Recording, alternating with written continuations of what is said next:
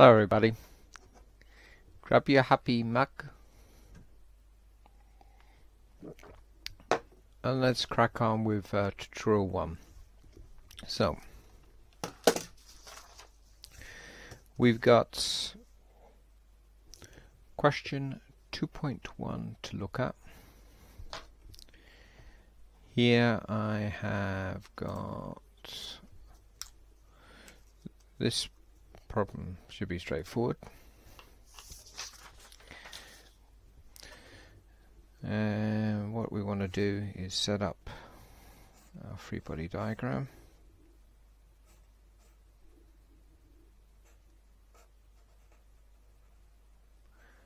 Now pulling force P of 10 kilonewtons. Force Q 30 kilonewtons. First have a think about the problem that we've got here. Overall, what we kind of expecting looking at this.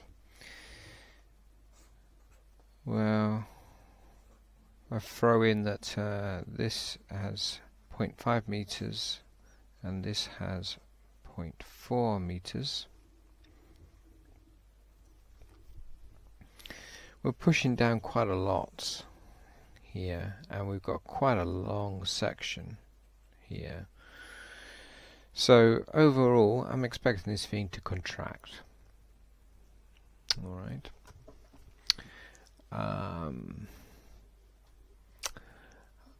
now one way to draw this uh, uh, sort of a more 3D shape is we could split up now 30 to represent that uh, we've got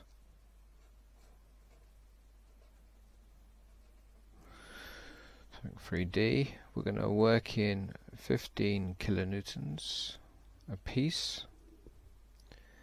And then on my free body diagram I want to draw 10 newtons going off in this direction. Right here. So I must have a reaction here. So referring back to the question, that seems to be point C, so RC. And that's our badly drawn free body diagram. And we want to determine the internal force. Uh, remember that these are all the external forces being applied. What we're going to do now is something completely crazy and mad. We're going to pretend that we can cut through this free body diagram and that we can basically separate it a little bit. Alright. So that's like this pen here. If I push 10 newtons from this side I've got to push 10 newtons from that side to make sure that that pen doesn't shoot off anywhere. So 10 newtons are being pushed either side. Now, if I say to myself, what is the internal force where my thumb is? Okay, so I've, so I've cut the body and I'm exposing the internal force here. The internal force is also going to be 10 newtons. So I've cut the cut the body, thrown that bit of the body away, and now there's, this exposed internal force. Can you see it? Right, and that internal force is going to be pushing back towards the force that you're pushing there. And what we do is we define forces to be the internal force direction by default. We define it as pointing away from uh, our initial point there.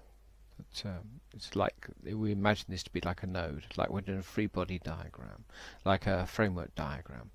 Okay, so the internal force is pointing away. Now, because my uh, internal force has to push back to that that force being applied, that means that's a negative force. So that tells me when it's negative, it's in compression.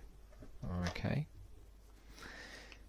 So I'm gonna make a cut. Now I can make a cut through my body. It's a bit like I'm doing a method of sections. Remember this from first year. I can make a cut through the top part of the body or the bottom part of the body. Uh, I'm gonna choose to take the cut through the top part of the body. And the reason why I would want to do that is because I know that value Whereas I don't know the RC, I can easily work it out, but I don't know what it is. So the question's asking me to find internal forces, not saying anything about the reaction, so we'll do that. So what we're going to do is do another free body diagram, and we'll only include the top bit. So we've got 10 kilonewtons going off in that direction, and then we've got this internal force which we define. When I do this, I then set up what I think the sections are. So that's section 1 and that's section 2 in my model. So I've got this internal force, section 1, pointing away and then I'm going to apply Newton's law. I'm going to sum up the forces in the y direction. I'll take positive to be uh, upwards and so therefore I see I've got 10 take away F1 equals 0 and that gives me F1 equals 10 and I'm working in kilonewtons. Okay. So F1 is 10 kilonewtons. It's a positive so therefore I know that that bit of the internal section is going to be in tension. All very straightforward. Um, and we want to find now the internal force on section 2 so notice I've taken my 30, split it up 1550 to represent the fact that we've got some kind of flange. We've got a uniform force being applied over this section here. Okay. So we need to draw another free body diagram of the problem. So we've got a top section, then we've got the bottom section, then we've got 15 15 so these are external forces being applied. So add them up together we've got the 30 so notice the reason why I'm doing this is so that I can sort of like put these forces outside of my body. Uh, actually this force is going upwards isn't it? Got 10 going upwards. And now we're into section 2 here. So we're going to have this defined as F2. So that's my free body diagram now. I'm into the lower section. Notice I haven't bothered working out the reactions or anything. So again we're going to apply Newton's law that we're going to sum up the forces in the y direction. Okay. And what have I got there? So I've got 10, take away 15, take away 15, uh, take away f2 equals 0. Okie dokie, so that gives me f2 equals 30, uh, take on that side, so minus 30 minus 10 uh, plus 10 yeah, so take it over to that side, plus 10, yep. So we that gives me minus 20 kilonewtons. So that tells me that section is in compression. So that is actually in compression than you'd kind of first guess looking at the problem. You'd think, okay, this this is going to be pushing down by about 30, but in actual fact, in this particular section, because we've got this upward force in there, it's going to be pushing down in this particular section minus 20 or rather pushing down 20 rather so it's in compression. So let's recap. Top section we've got 10 pointing away 10 pointing away there. They are the internal that's the internal force in the top section. Okay bottom section Right, so this is pointing away with minus, and that's with a 10 and a 10. Bottom section, well, by definition I define things as pointing away, so they're negative. So therefore you can say this is the same as top section with 10 pointing away, 10 pointing away, and the bottom section we can reorientate our arrows. I don't like to do this, but the internal forces are going that way.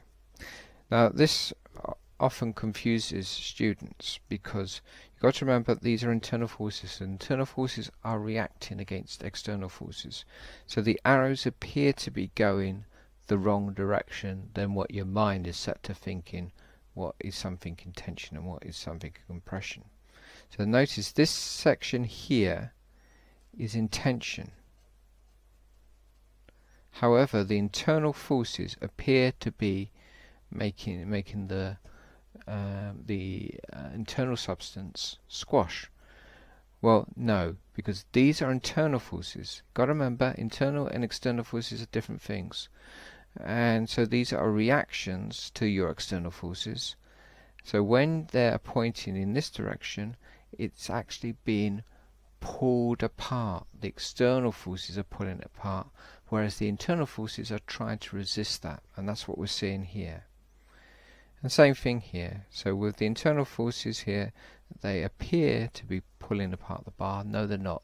These are the forces that are reacting against the forces that are trying to squash the bar.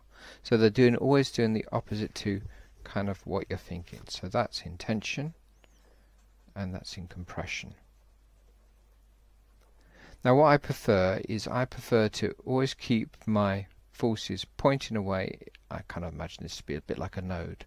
Pointing away and then setting this to be negative as opposed to reorientating the arrow. But you'll, you'll find in some textbooks but they like to reorientate the arrow back to um, a particular section start position. So, so we know our two internal forces. So the top one is uh, in tension uh, by 10 kilonewtons. Bottom one is in compression by 20. And that was a lot of hoo-ha for not, not much uh, to work to determine the internal forces. Determine the amount of stress at the midpoint of each section. Okay, stress is force divided by area.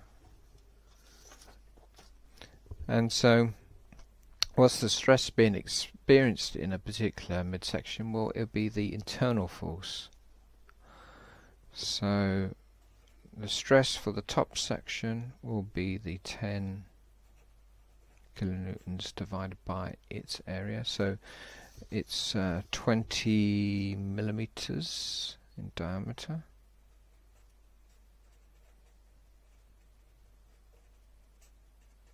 that'll be the top one and then for the bottom one um, that has minus 20 I'll keep the minus there to remind me that's in compression and the bottom one has a diameter of 60 millimeters.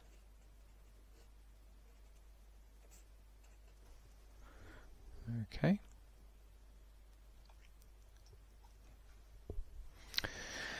And so you should get for your top section 31.8 megapascals and for your lower section minus 7.07 megapascals. So we're expecting the top one to be in more and uh, experiencing more stress. Got a smaller thing that we're, we're trying to squash, whereas the things, the, the lower section is bigger, so the stress is going to be distributed wider, so it's going to have a lower amount of stress. Rightio, last bit, determine the deformation of the whole steel rod. So here we're going to be using, uh, in I would guess this formula.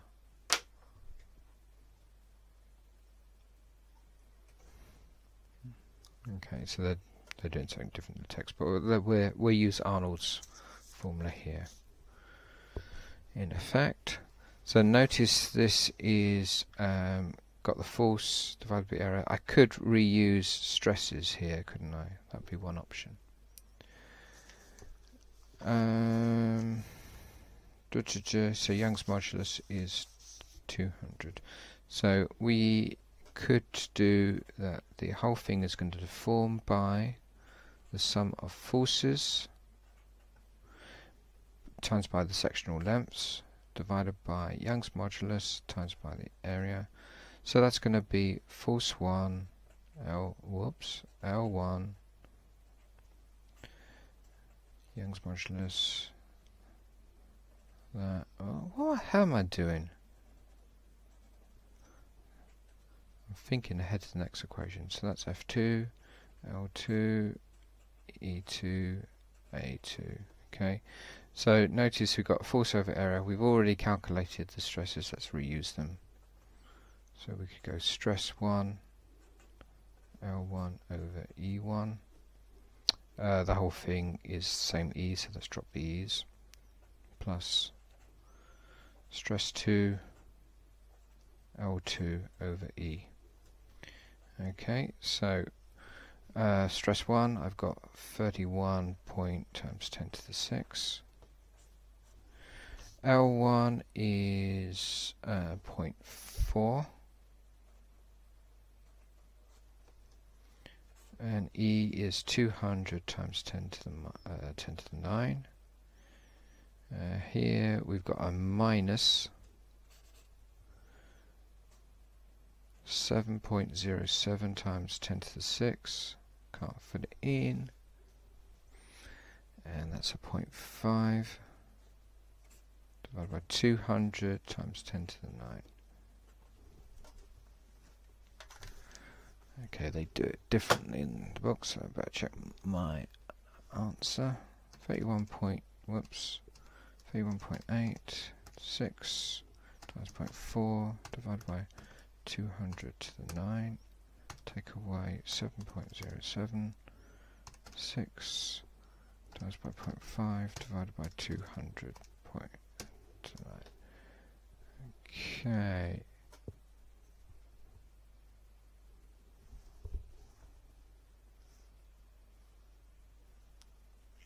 Okay, so I'm completely wrong. So we've uh, uh, next thing I'm going to press the edge button. Uh, kind of gone the wrong way. I don't really want to work in micrometers. So that would be point zero four five nine millimeters. Okay. Um, so yeah, so I've I am wrong because I looked at this and I said to myself, right, well, I'm applying more force down here. This is a longer section. This thing is overall going to squash. In actual fact, put the numbers in, the thing actually gets pulled apart. Why?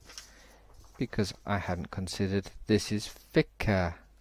So I've been pretty thick. Okay, so correct answer my guesstimate that the whole thing was going to get uh, going to get extended, however, was wrong. There we go.